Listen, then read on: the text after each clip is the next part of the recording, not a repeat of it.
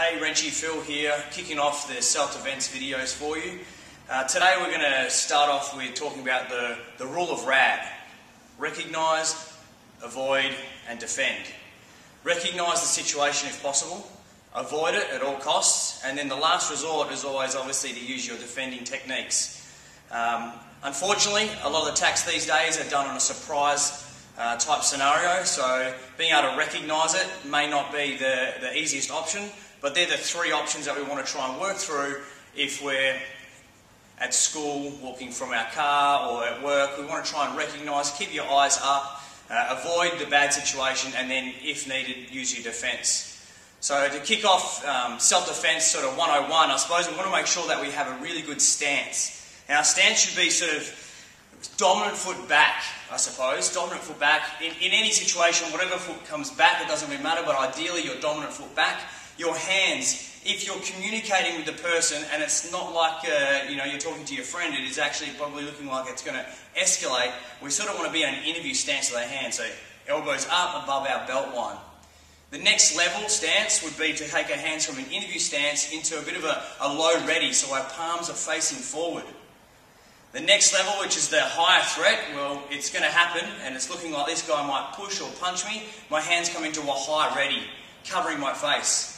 The reason we want our hands up high is that if something does happen, the time that it takes for me to react is a long time from when my hands are down.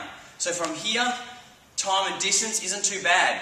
From here, a little bit better, and obviously if the, the level of threat is escalated high, my hands will be in the high ready position.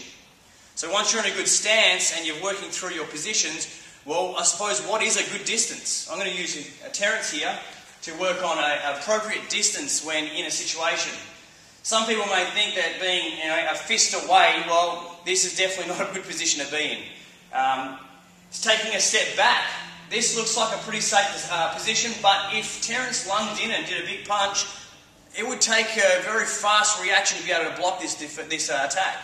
So ideally, if Terence moves back, the best position would be we're one arm away. We take two steps.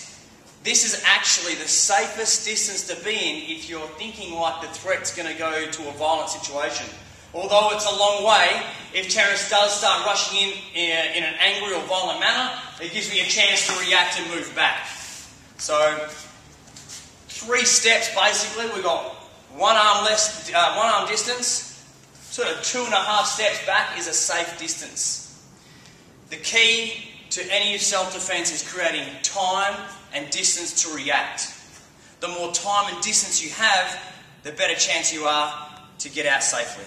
Stay tuned and we'll show you what happens next if you are startled and how to defend against that uh, surprise attack. Thanks guys.